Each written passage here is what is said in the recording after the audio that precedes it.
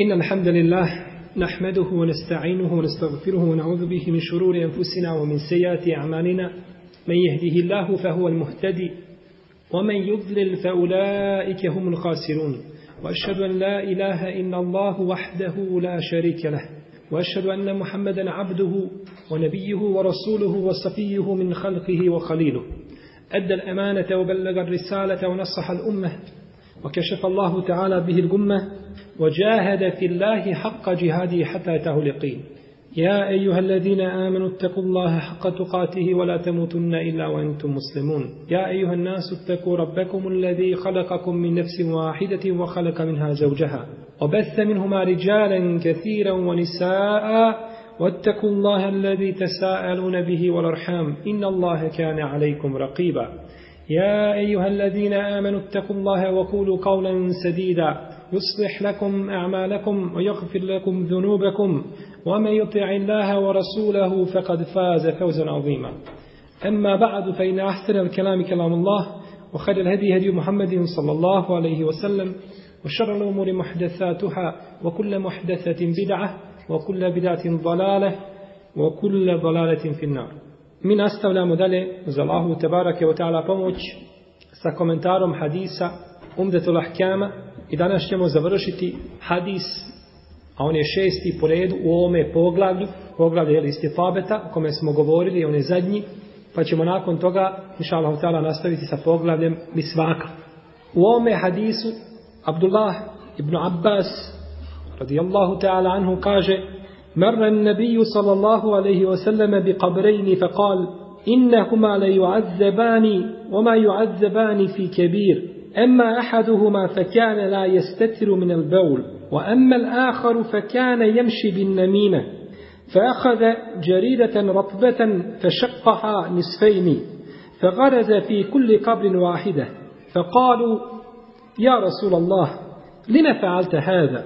قال لعله يخفف عنهما ما لم ييبسا kaže Abdullah ibn Abbas radijallahu ta'ala anhu prošao je poslanik sallallahu alaihi wasallame pored dva kabura pored dva mezara pa je kazao njih se dvojica stanovnici ovih mezara jeli, kažnjavaju a ne kažnjavaju se zbog nečega velikog što se tiče jednog od njih nije se sakrivao od mokraće.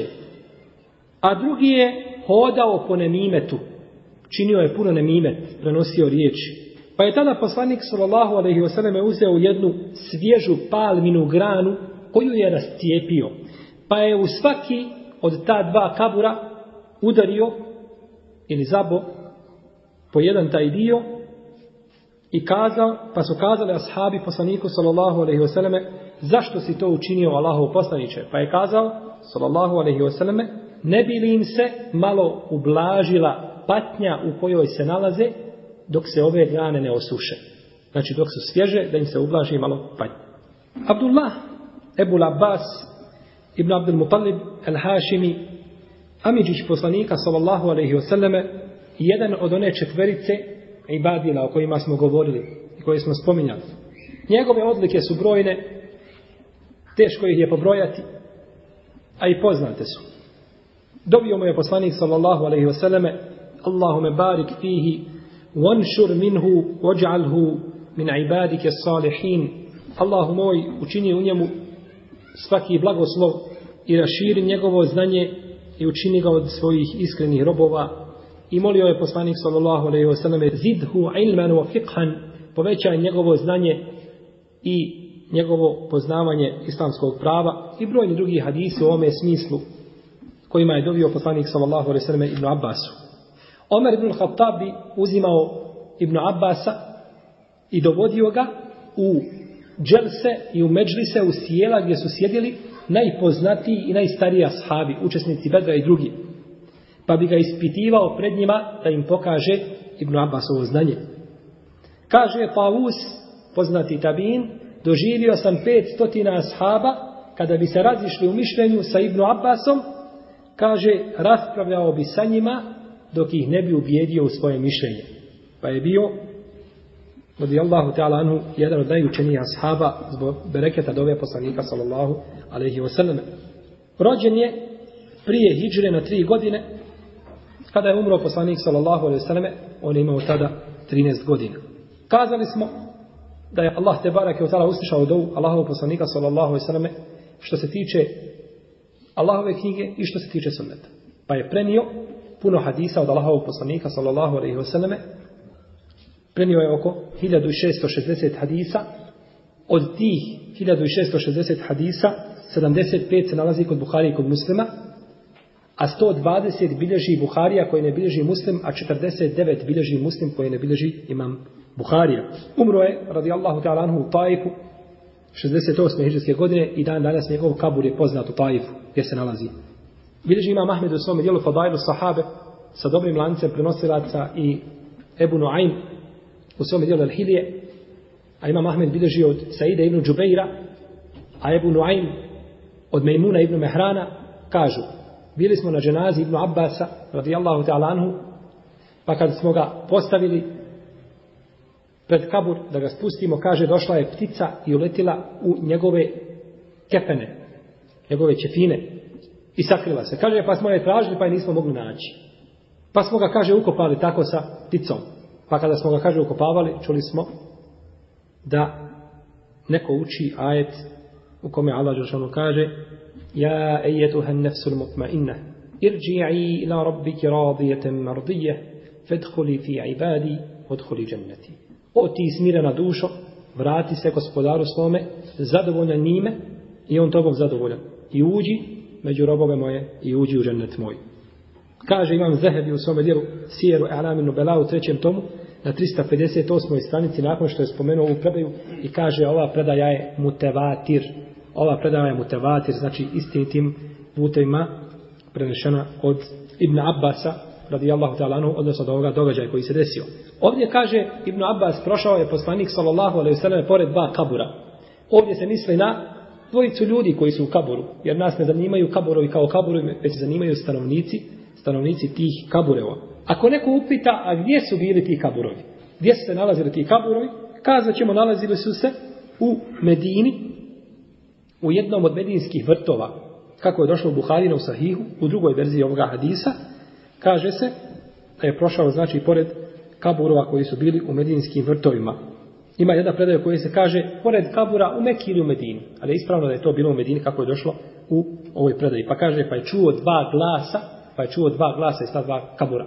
I čuo je samo poslanik sallallahu alejhi ve selleme i nije mogao niko drugi, nije mogao niko drugi čuti od ljudi i džina.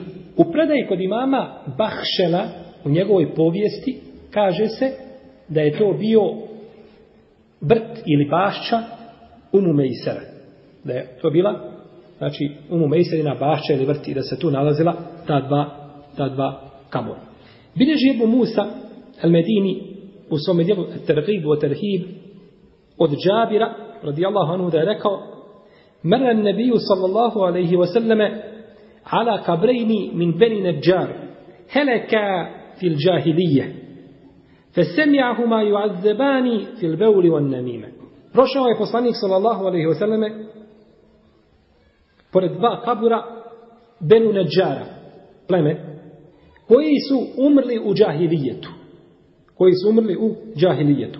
Pa je čuo da se kažnjavaju zbog mokraće i zbog, i zbog nemimeta. Zbog čega je nama bitna ova predaja koju smo spomenuli? Ko zna? Bitna nam je što se kaže u ovoj predaji do stada čovjek umrla u džahilijetu, da su bili šta? Kjafiri, nevjernici. A u prvoj predaji to nije spomenuto.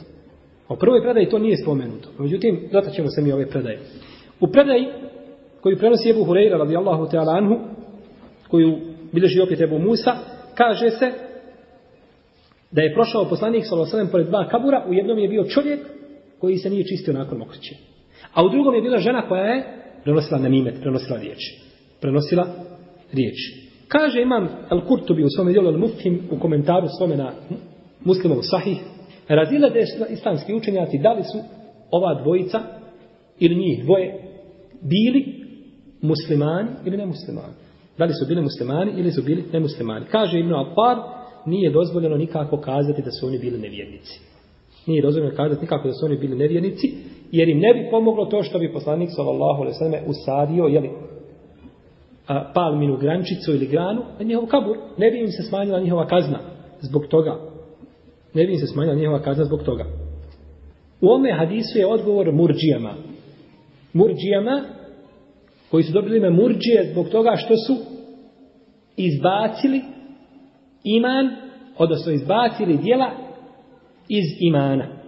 Pa kažu, dijelo je da samo vjeruješ u srcu. Ili da kažeš jezikom. Ne moraš ništa raditi. Pa ovaj hadis ukazuje na što na suprotno. Da će ljudi biti kažnjavani zbog grijeha koje su činili. A murđije kažu, ko vjeruje, ne koristi mu i ne šteti mu grijeh koji čini. Oni kažu, kod njih ima pravilo jedno njihovo koje je batil. Pravilo jedno koje je batil u kome kaže ili u kome kažu ne šteti pored imana grije. A ne koristi pored širka djela. Ovo drugo je tačno. Da pored širka ne koristi djelo. To je tačno. No međutim da pored imana ne šteti grijeh, to nije tačno.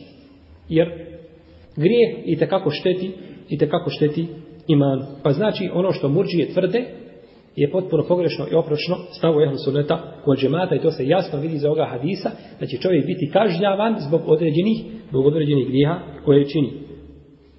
Pa da su bili znači ova dvojica mušici, ne bi im to koristilo i ne bi poslanik sallallahu alejhi ve selleme njima tražio oprosta znači da im se smanji kazna. Kada bi ovaj hadis koga smo spomenuli za koga neki kažu da je dobar, no međutim ispravno da je on slab, jer u njemu ima Ibnu Lahija, El Misri, a on ima, ima stvarno pamćenje, kada bi bio ispravan, s ovim bismo potvrdili jednu novu vrstu šefata. A to je šefat poslanika, sallallahu alaihi wasallam, za kjafire. Je tako?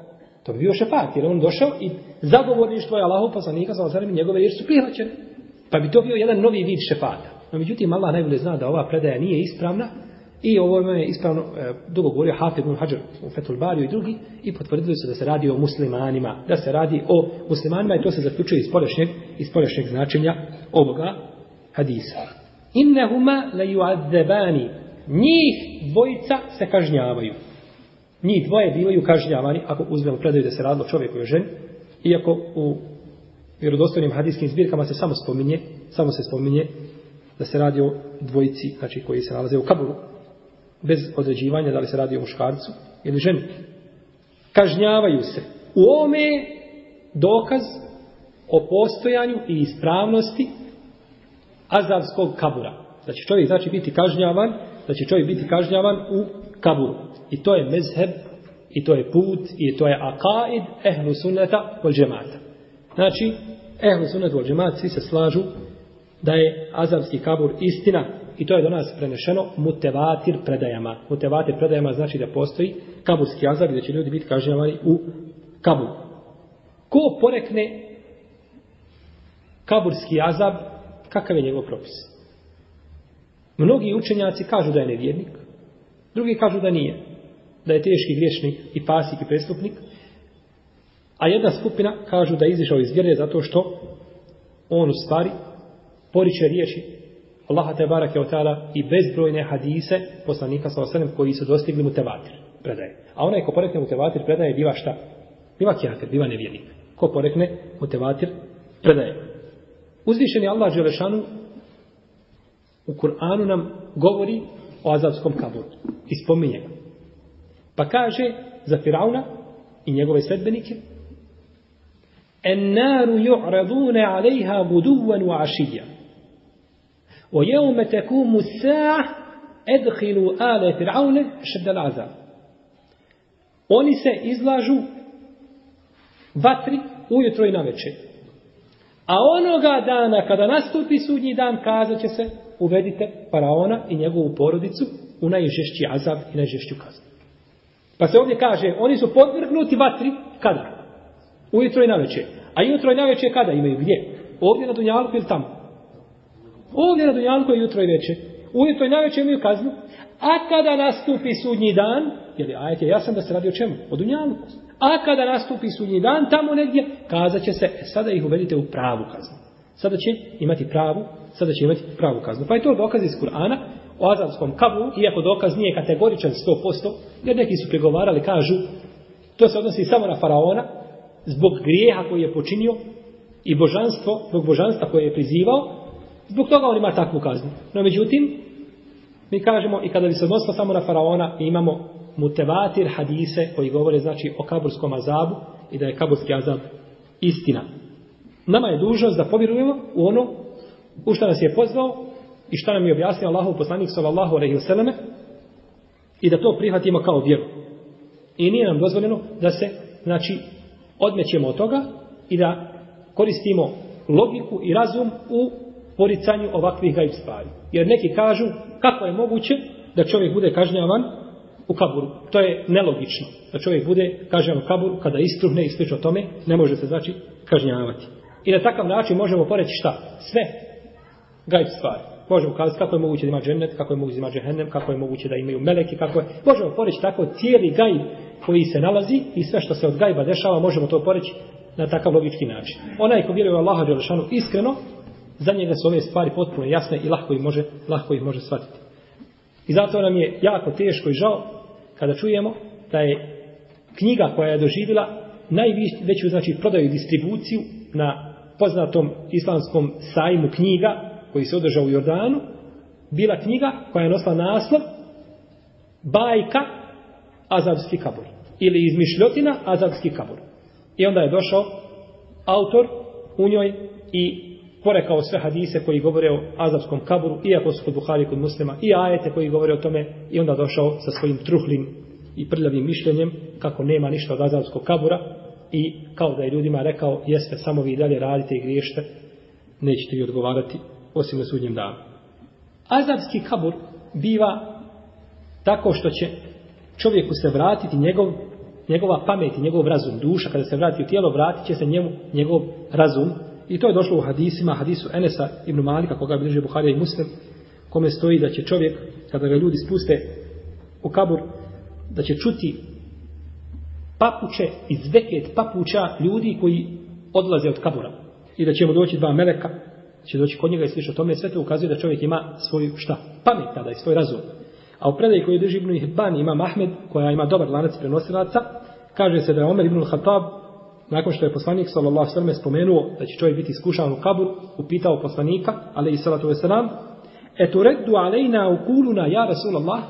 Hoće li nama kaže tada naša pamet biti vraćena u kabur? Ćemo biti razumni ljudi? Pa je kazao poslanik sallallahu alaihi ve alihi ve "Nam kahiyatikum al-yawm."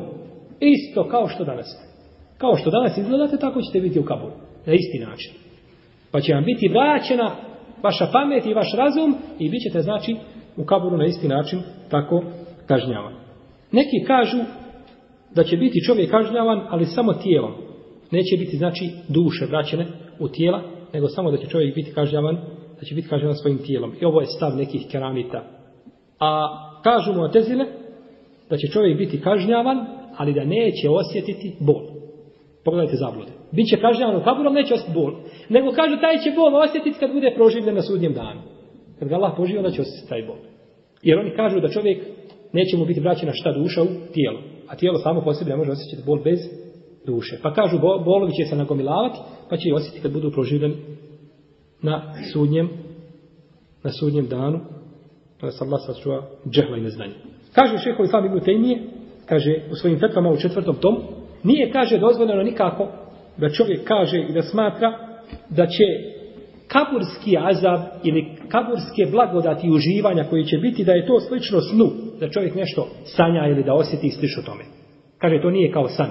Nego kaže, to je istinit bol koga će osjetiti onaj ko bude bio kažnjavan, a kaže isto tako, to su, kaže, istinite, istinite, kaže, blagodati koje će ovaj osjetiti i stvarne blagodati koje će osjetiti oni koji budu, znači, u, u blagodatima kaburskim. Šehol Islam ibn Kajim, svome djelo Ruh, spominje, kaže, pitanje Šehol Islam ibn Tejmije o kažnjavanju čovjeka u kaburu, je li to samo duša ili je tijelo ili je oba dvoje, pa je kazao Šehol Islam ibn Tejmije, bel azabu wal na'imu ala nefsi wal bedeni džemija, biti faqi ahli sunnati wal jamaa.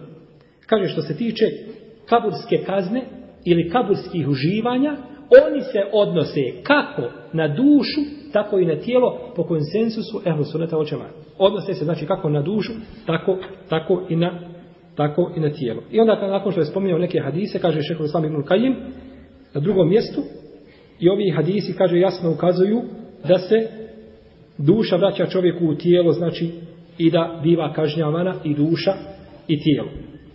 I što se tiče, znači, kaburskog azaba, islamski učenjaci ehlu sunnata od džemata su složeni da je to istina, kako navodi šehol Islam ibn i drugi, i to odgovara vjerodostojnim hadisima poslanika sallallahu alejhi ve sellem i onome što je došlo u Kur'anu od Allaha te barake o taala. Kaže imam Al-Marwazi da je rekao imam Ahmed azabul qabri haqqun la yunkiruhu illa dalun mudil. Kaburski azab je istina i ne poriče ga osim samo onaj koji je za u istinu zalutao i koga je Allah dželle odveo sa pravog puta. Što se tiče skupina brojni su ti koji spore kazabski kabur između njih su Haridžije, Havarić, I neke murđije su isto tako porekle, porekle azavski kabur. Oma ju adzebani fi kebir, a oni se ne kažnjavaju zbog nečega velikog. Ne kažnjavaju se zbog nečega velikog. Islamski učenjaci po pitanju ovih riječi imaju nekoliko tumačenja. Imaju nekoliko tumačenja. Prvo, nije veliko kod njih. To što su činili nije veliko kod njih, ali je veliko kod Allaha te barake o teala. Pa su znači činili grijeh koga nisu oni smatrali velikim. I na to ukazuje predaj koji bilježi imam Buhari, u kojoj se kaže o innehu le kebir. I to je veliki grijeh koga su činili. Znači veliki je grijeh kod Allaha Žešanu, a oni ga nisu smatrali velikim grijehom. U drugoj predaji, oma ju adlevani fi kebir bela. I nisu kažnjavani zbog nečega što su smatrali velikim, ali je to bilo veliko. Ali je to bilo, ali je to bilo veliko. Kao što kaže uzvišeni Allah Đelšanu, o هَيِّنًا hejinen, wa huwa inda azim. I vi ste to smatrali mizernim, i nečim malim, a to je kod Allaha Đelešanu bilo veliko. Jer ovdje čovjek koji se nije čistio od mokraće, čemu to vodi? Nije se očistio od mokraće, čemu vodi to? Ko zna? Nema abdesta. A nema abdesta, šta onda nema? Nema? Bilo je na njegovom tijelu nečistoće i došlo je na njegovu odjeću nečistoće i takav je klanjao. A namaz takvog nije priznat. A ima li veće grijeha od toga da se ostavi namaz i da čovjek nema namaz? Nema veće grijeha. Pa je to to nemirovno, znači čišćenje nakon, ne, nema čovjek tahareta, ne može kao takav stupiti i stati pred Allaha Đelešanu. Pa je to dobro dogleda da ljudi dođu u stvari pred Allaha Đelešanu bez namaza. Pa to može biti isto jedan od razloga koji je doveo znači do ovakve, do ovakve kazne. A što se tiče drugog, kjane jemši bin nemime, tako došlo od Isa, hodo je po nemimetu. Trčao, radio sve da što više nemimeta i što više fesada i nereda da posije po zemlji. Pa je znači činio puno puno toga nereda, što je svakako od Allaha rešeno veliki grije. To je prvo tumačenje. Drugo tumačenje ovih riječi jeste da nije veliko u smislu da nije najveći grijeh. Ima veći grijeha, on je veliki grijeh, ali nije najveći od njih. Pa može biti, znači ima veći grijeha od tih. Jer se veliki grijesi, kao i mali grijesi, kao i širk, razlikuju znači u svojim stepenima i svojim, i svojim deređama. Pa znači ne odnosi se hadis po tumačenju na najveće velike grijehe, jer je širk veliki grijeh i ubijstvo je veliki grijeh, pa sigurno nije na tome stepenu, ali je ipak, ali je ipak veliki grijeh. Treće tumačenje jeste da to kod njih dvojice samo nije veliko, a kod drugih ljudi jeste. Da svi drugi ljudi smatraju to velikom stvari, ali oni su bili izuzetak, pa to nisu smatrali, znači velikom stvari, nego su to smatrali sitnicom. Da nije veliko bilo to u pogledu da oni to ostave. Nije im bilo znači teško da ostave taj grijeh. Mogli su ga lahko ostaviti i mogli su se lahko proći toga grijeha, pa u tome smislu nije bilo nešto veliko. E, Svatate? Znači nije im bilo veliko da se prođu toga i da ostavi. Jer grijesi se dijele u tri skupine. Kod islamskih učenjaka grijesi se dijele u tri skupine, kako kaže imam El Maziri. Prva skupina jesu grijesi koje je lahko ostaviti. Poput ovih. Lahko je ostaviti. Nema nikakve poteškoće čovjek da ih ostavi. Ili da učini nešto da upade u grije. Ostaviti nemimet. Je li to poteškoća? Ostaviti gibe. To nije poteškoća. To treba čovjek samo da ne govori i završeno. Imate drugu skupinu koju je teško ostaviti. Koja je nasprot ove. A to je udovoljavanje svojim strastima i duši. Pa je te prohtjeve teško ostaviti. Čovjek. Treba znači muđaheda i treba trud i sabor da ih ostavi. I treća skupina jeste grijesi od kojih duša po svojoj prirodi bježi ne voli ih duša. Kao na primjer da čovjek popije otrov.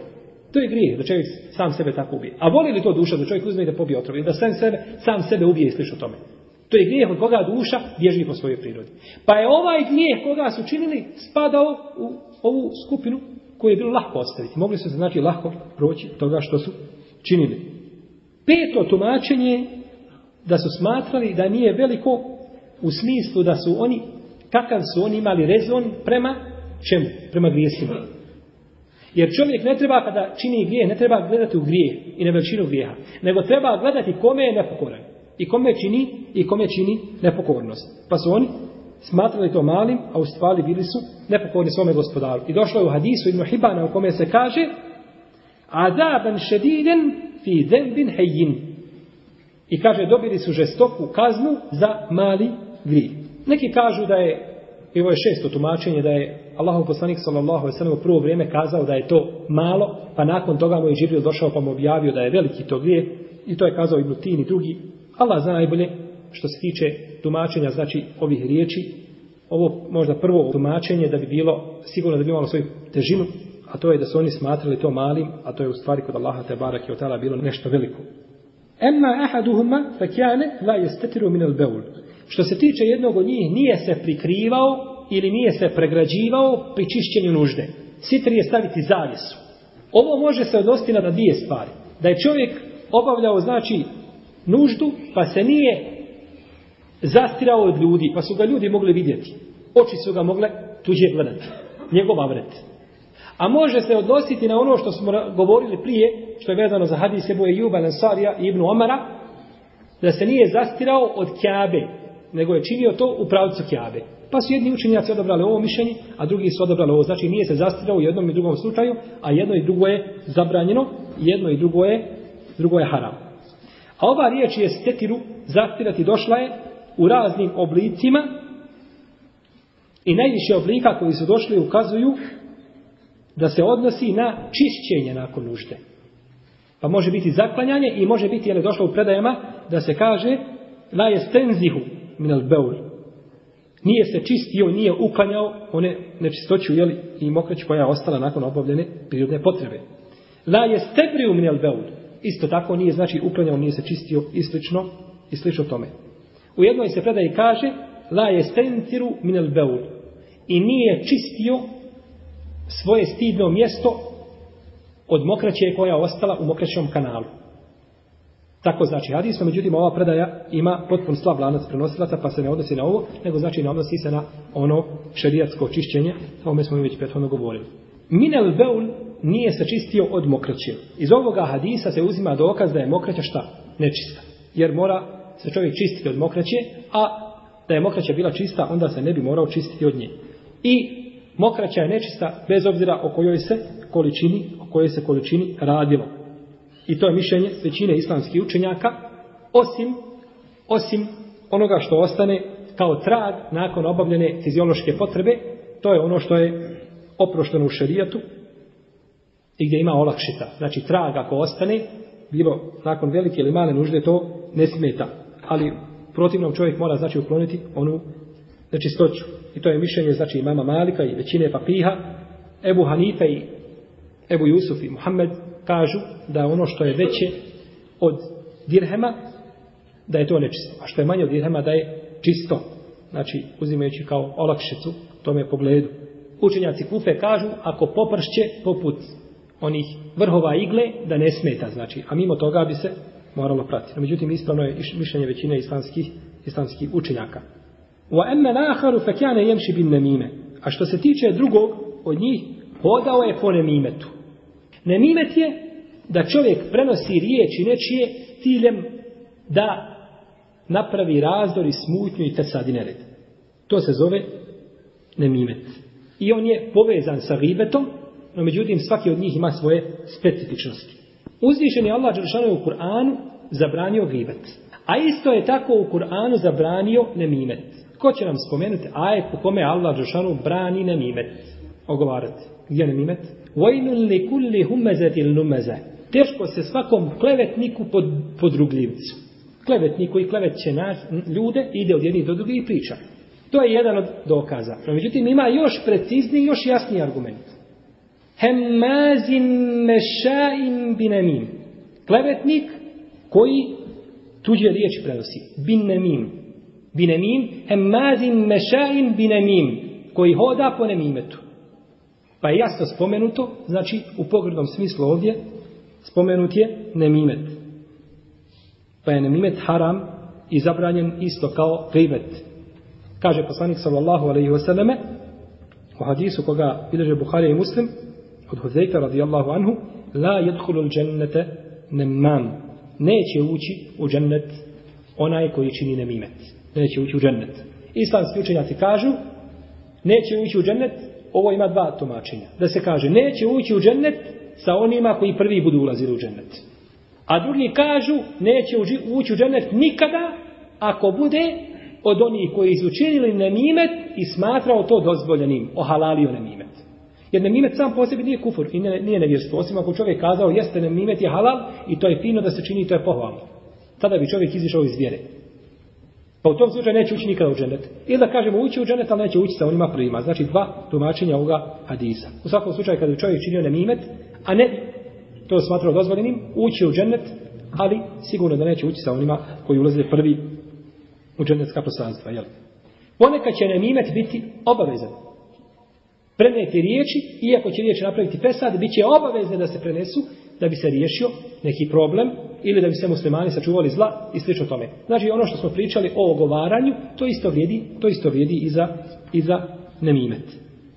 Nemimet je haram bez obzira radilo se o riječima da čovjek kaže da prenese ili da pokaže rukom ili da i šaretom ukaže ili okom da namigne i slično tome. Kako god da uradi i šta god da uradi i time znači ovaj učini i smatra se od onih koji prenose riječi da bi tako pokvarili odnose među ljudima, smatraće se da je od onih koji čine nemimet. Jer je osnova da čovjek prikrije stanje i hal muslimana i da ga ne otkriva. Ne da ide znači govoriti šta je on učinio zla, tako da ga sramoti. Osim ako se radi naravno da je u tome korist za muslimane, to je onda isto kao i ogovaranje. Kada neko dođe nekome, pa mu prenosi riječ od nekoga, obaveza mu je šest stvari, da učini šest stvari taj koji čuje toga, obaveza mu je da učini šest stvari. Prvo, da mu ne vjeruje. Dok ti dođe i prenosi ti riječi od nekoga, kako je neko rekao o tebi to i to, obaveza ti je prvo da mu ne povjeruješ. Jer je nemam, onaj koji čini na nimet je šta? Fasik. Je tako? Fasik. Teški griješnik. Jel čini? Veliki grije. A šehadet fasika i njegovo svjedočenje nije šta? Primljeno u šerijat. Razumijete? Čovjek dođe i govara ljude. Pozna da govara ljude. Ne može se njegov šehadet, njegov se šehadet neće prihvatiti. Čovjek prenio riječ, kažeš njemu prvo, ja to tebi ne mogu povjerovati. Ako ćeš mu već kazati. I zato što si ti fasik i od tebe se to ne može primiti to što govoriš. Pa je znači njegov šehadet neprihvatljiv i ne može to prihvatiti od njega. Druga stvar da mu zabrani to što čini i da upozori na grijeh koji je počinio. Treća stvar, da ga mrzi u ime Allaha Đelešanu. Jer je on mrzak kod Allaha. Allah ga mrzi. Pa ga Allah mrzi, mrzi ga i ti. Jer Allah ne voli, nepokornike ne voli pasti. Četvrta stvar, da ne pomisliš o čovjeku od koga je on te premio riječ ružno. Kako kaže uzvišeni Allah Đelšanu, ičtenibu kethiran min al-van. Ja, ejuha ladina amanu, ičtenibu kethiran min al-van. O vjernici, klonite se mnogih, mnogih sumnjičenja. Znači, pa nećeš pomisliti o tome čovjeku od koga je prije riječi nešto loše. Da te ne navede to što ti on kazao, da uhodiš on ti kazao nešto tako i tako i kažeš ti sad, sad ću ja to provjeriti. Pa onda ideš za tim čovjekom i šta? Ispitivaš, uhodiš ga, da potvrdiš ili negiraš ispravnost njegove riječi. Nećeš to sebi dozvoliti. Jer uzvišeni Allah Žešanu kaže Uala teđeste su i nemojte jedni druge uhoditi. Nemojte jedni drugi uhoditi. Ibnu Mesudu su kazali, čovjeku kaže, vino curi iz njegovu bradu, koliko pije. Može popiti pa se preleva se iz usta i curi po bradu. Kaže, Allah nam je zabranio uhođenje. Jer to nije javno činio. Pa nećeš ići uhoditi da vidiš šta neko, šta neko radi. I šesta stvar, neka ne dozvoli sebi ono što je zabranio čovjeku koji je prenio riječ. A to je da ide i da drugom prenosi riječ koju je ovaj kazao. Zabranio si njemu i pogrdio njegovo djelo, njegov postupak. I onda nakon toga ideš ti i činiš istu grešku i prenosiš, prenosiš znači te njegove riječi koje je kazao taj koji je činio nam imet. Pa onda čovjek upadne u istu stvar. kaže pjesnik, jedan arapski, La tenhe an hulukin wa te'ti mislehu arun alejke iza fealte azimu. Nemoj sprečavati da ljudi nešto čine, a ti kaže činiš isto to. Ako budeš tako postupao, onda si ružno učinio. Znači da čovjek čini ono što je već zabranio nekom. Došao je čovjek Omaru ibn Abdelazizu i kaže kaže, o tebi je jedan rekao to i to.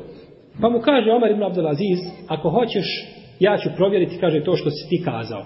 Pa ako kaže, bude ispravno to što si rekao, ako si kaže istinit, onda si ti hemazim mešaim binemim. Onda si ti klevetnik koji čini nemimet. Ako si iskren, onda si klevetnik koji čini nemimet.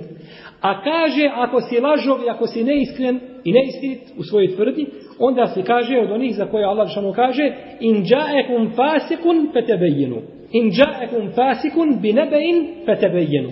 Ako vam dođe fasik sa nekom vijesti, vi to provjerite. Pa je kazao ovaj čovjek u redu, kaže, pusti me, neću to više nikada, neću to više nikada činiti, oprosti mi, vladaru pravovjernih. Pa je otišao. Spominje Kjab al-Ahbab, to je bio židov koji je primio islam, da je Musa, a.s.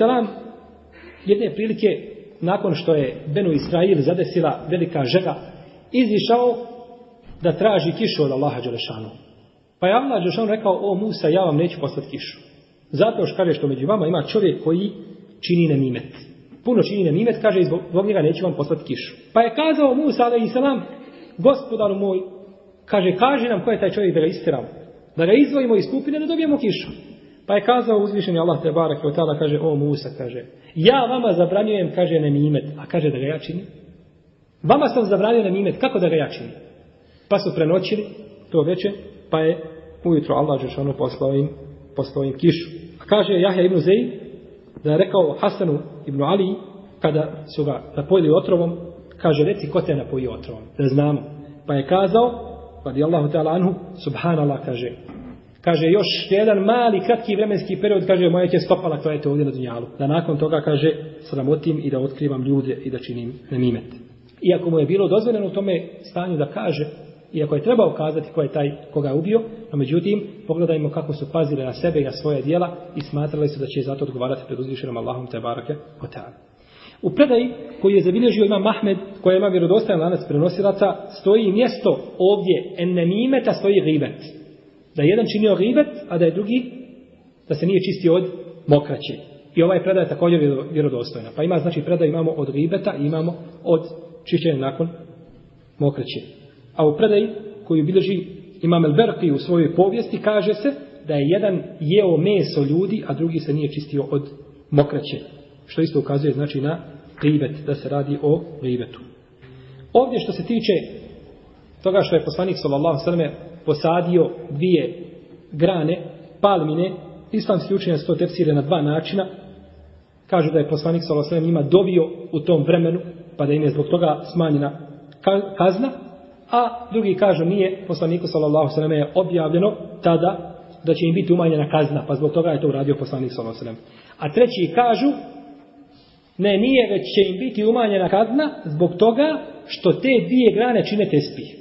Je tako? Sve što je na zemlji čini tespih Allahu Đelešanu. Wa im min še'im illa yusebbihu bihamdihi. Nema ništa što je stvoreno, a da ne čini Allahu Đelešanu tespih. Pa kažu te dvije grane kada se stave, one dok su šta? Sirove, one će činiti tespih. No međutim, imamo li mi razlog da sirova čini, imamo li dokaz da sirova grana čini tespih, a suha ne čini? Nemam.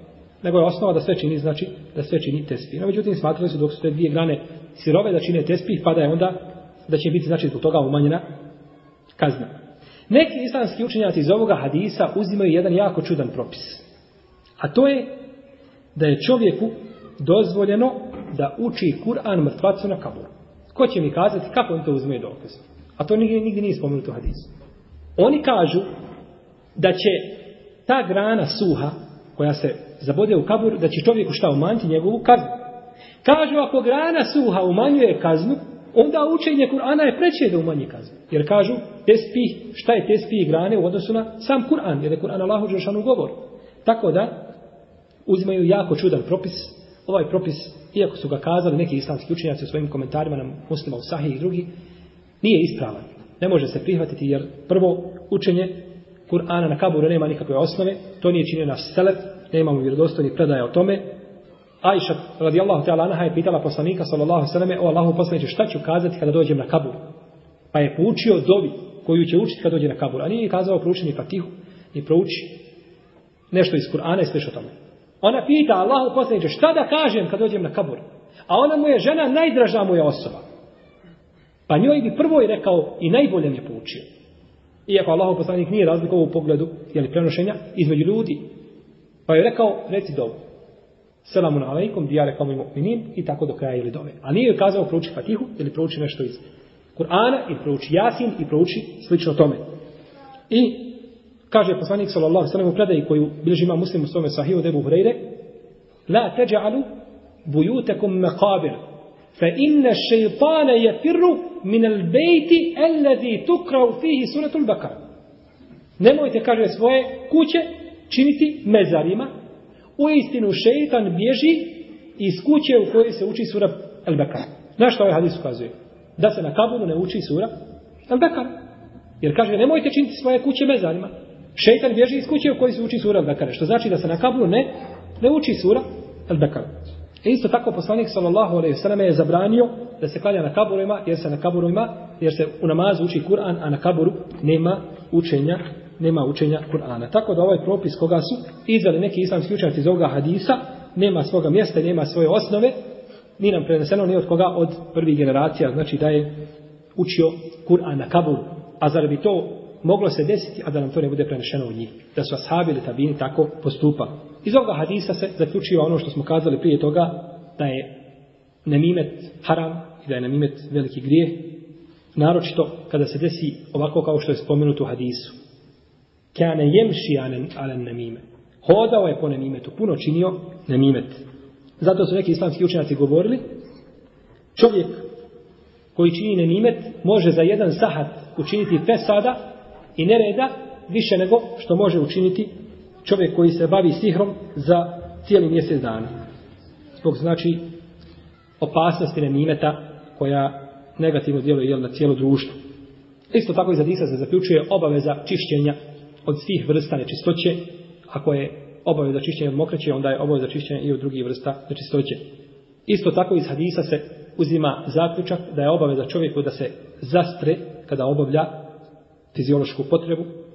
Iz hadisa se također uzima zaključak da je dozvoljeno spomenuti čovjeka mrtvaca po njegovim nekim ružnim osobinama, ako je u tome opća korist za muslimane. Kao što je bilo u ome hadisu, da se muslimani pouče ili da uzmu pouku i bret, onda se takva stvar neće smatrati jeli, ogovaranjem i spominjanjem po ružnom. Jel? Ima hadis od poslanika, sallallahu alejhi ve selleme koga bilježi imam Abu Davud i Tirmizi i Hakim i drugi, koji ima slab lanac prenosilaca, u kome poslanik sallallahu alejhi ve selleme kaže: "Uzkuru mehasine meutakum wa kufu an masawihim." Spominjite, kaže, dobra djela vaših mrtvih, a nemojte spominjati njihova loša djela. Međutim, moj hadis nije vjerodostojan, iako ima ispravno, ima ispravno značenje. Imam Buharija na osnovu ovoga hadisa naslovio dva poglavlja u svome sahihu, koja su bitna da se spomenu. Prvo je naslovio je poglavlje da je veliki grijeh da se čovjek ne zastire prilikom obavljanja nužde i spomenuo je ma džaje fi gaslel baul poglavlje znači koje se odnosi na čišćenje mokraće i na kraju zadnji propis koga je iz ovoga hadisa izveo Ebu Abdillah el Džauzekani kaže i zaključujući iz ovoga hadisa da je dozvoljeno čovjeku da hoda između mezarja. U hadisa kaže da je poslanik sallallahu sallam prošao pored ta dva mezara. Da li je to bilo još mezarja? Allah najbolje zna. U svakom slučaju zaključio je znači da je dozvoljeno hodati između mezarja. Možda bi se moglo još kazati da je dozvoljeno isto tako posjetiti mezar. Jer je poslanik sa osvijem došao znači tu do mezara i boravio pred njega. Pa se znači iz tog hadisa moglo i to zaključiti pored brojnih drugih hadisa koji ukazuju znači na legitimnost posjećivanja mezarja. Wallahu ta'ala alam. Sallallahu ala nebina Muhammed wa ala alihi wa sahabi ajma'in. Ovim bismo završili znači poglavlje el istitabe čišćenja nakon nužde spominjali smo na početku da ima šest hadisa koji su bili ome poglavlju. Govorili smo o svih šest hadisa, pa ćemo inša Allah narednog puta nastaviti o, u poglavlju Babu Sivak, poglavlje koje govori o misvaku. Allahu Teala alam, sallallahu ala nebina Muhammed, wa jazakumullahu khair.